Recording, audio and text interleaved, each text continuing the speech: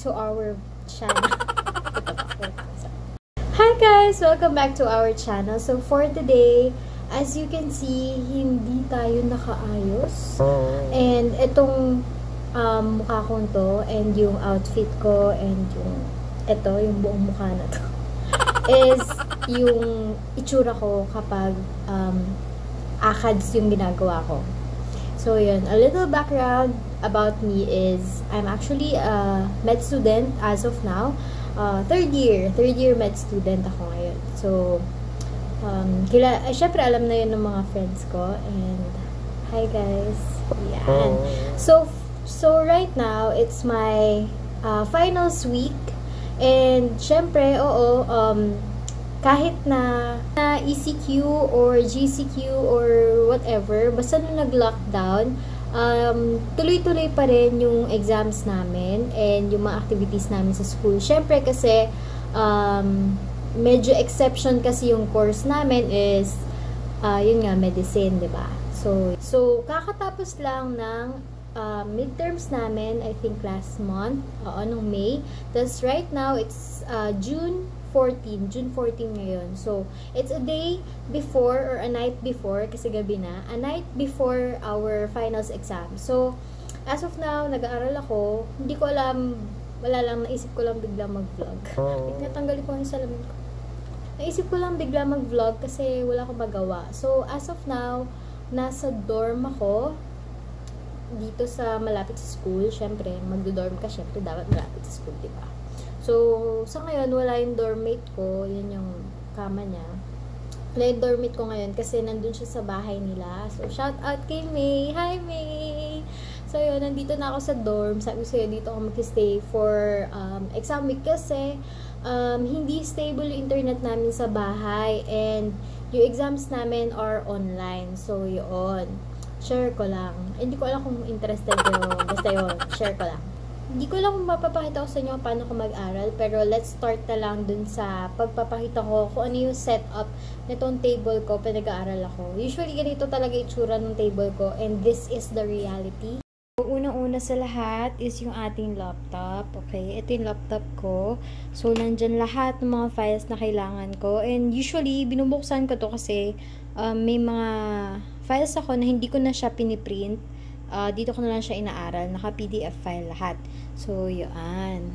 So, ito yung file organizer ko naman na hindi naman nakakatulong, hindi naman nakaka-organize kasi oh. halos hindi ko siya ginagamit, ganyan. Andito lang yung mga files na hindi ko madalas ginagamit. So, yun. Kasi yung mga files ko na ginagamit talaga or mga um, reviewers ko na ginagamit talaga andito. Ayan. Ginawa kong shelf yung aking uh, printer. So, ito yung printer ko. Very reliable printer. Brother MFC T800W. So, kahit anong brother actually, mare-recommend ko sa inyo. Sobrang heavy duty nitong brother. Sobrang ganda nito. Tumatagal to sa akin. As in, ever since um, pre-med ko, nung medtech pa ako, um, brother na printer na talaga yung gamit ko. So, yun. So, ito yung mga nire-review ko ngayon. Finals topic lang to. Ayan. Uh, uh, ito yun eh. Wala eh. Ganyan talaga yung pagka sa mga magbimed. Ganyan talaga. Finals lang to. Hindi pa kasama yung prelim yung midterms namin. Tapos, ano pa ba? Gusto nyo ba kasama ako doon sa video? Wait lang ha. So, what's next? What's next? Ayun yung, nakita nyo yung electric fan ko na, ano, madumi.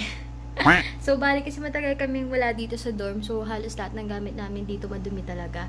So, yun. Ano pa ba yung nandito sa table ko? Siyempre, ang aking ever reliable na notebook. Ito, yaan. So, yung mga bagay na importante, dito ko nilalagay. So, yung schedule ng exam namin, yung mga coverage ng exam namin, yung breakdown ng exam namin, yung mga scores ko from pretty midterm finals na kailangan kong goal or something, ganun. Basta dito ko nire-record lahat. Yan, para, ano, pati mga utang, de joke lang, walang utang, ganyan. So, ano pa ba yung nandito? Siyempre, um, feeling ko classic na to. Makikita nyo talaga to sa lahat ng mga nag-review sa mga cafe, ganon. Basta med student o kaya ano, basta nag-review, kahit law students, meron nito.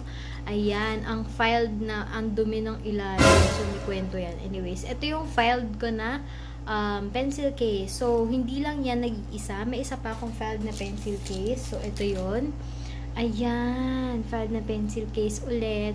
Uh, galing to sa roommate ko, si May. Shout out ulit kay May. Thank you so much dun sa pencil case na binigay mo sa akin. Sobrang useful siya. And may isa pa akong filed na pencil case. Ayan, tatlo sila. So, yon Kasi hindi ka siya sa isa, hindi ka siya sa dalawa. So, tatlo sila. Tatlo ang aking filed na pencil case.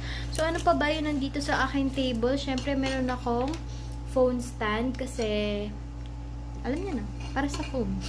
Ayun. Tapos, ano pa ba? Ang importante, kailangan meron kang lalagyan na ng tubig. Not exactly kailangan hydro flask, pero lalagyan na ng tubig. Whatever it is, ayan. Pwedeng pwede yan. At importante na meron kang tubigan sa may table mo habang nag-review ka kasi madalas nadidehydrate ka, hindi mo napapansin habang nag-review ka, nadidehydrate ka. Sad.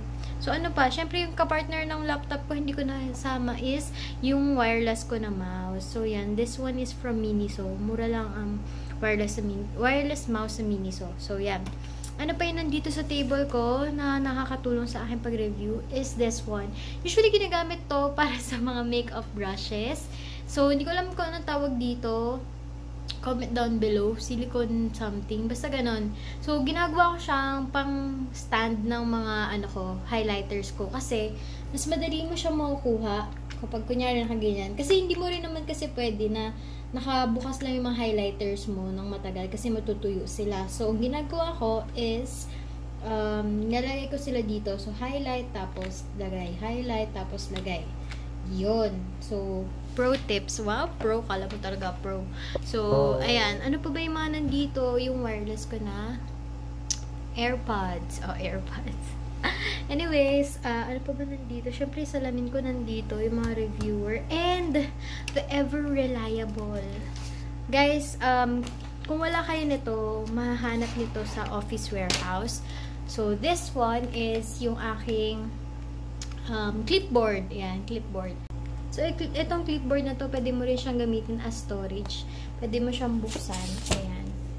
Tcharan! Tapos yun, meron din ako ditong power bank na sinacharge kasi syempre, hindi mo alam kung kailan ka mawawala ng kuryente. So, kailangan na kailangan mo yan.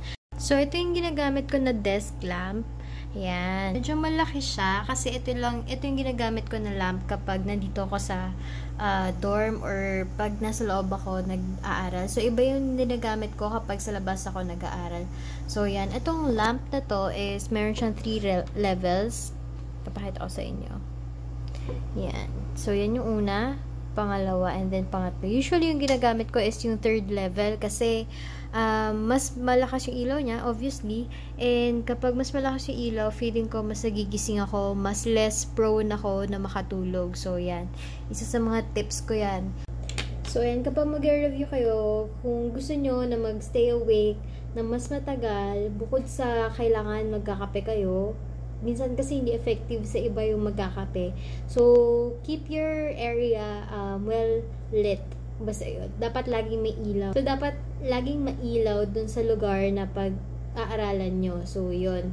Sabi nila dapat din na kapag mag-aaral ka is dun ka talaga sa study area mo. Wag sa kama, wag sa ganyan, wag sa ganito. Pero, for me, it works na kahit saan mag-review. Pwede akong mag-review sa kama. Basta, meron akong ilaw. Kasi mahirap. Nahihirapan ako. Hindi ko alam kung bakit. Basta nahihirapan ako pag walang ilaw. So, kailangan talaga meron akong ilaw. Yun. So, ano yung ginagamit ko naman na ilaw kapag sa laba, pag nasa labas ako. Wait lang. So, yan. Meron akong ganitong ilaw. Pag nasa labas ako, ito yung ginagamit ko. So, nabili ko to sa Ace Hardware. Nito lang nung nag-quarantine kasi uh, wala akong wala akong desk lamp sa bahay. So, yun, bumili ako. So, this one, meron din siyang tatlong levels. Ayan. Ay, dalawa lang pala.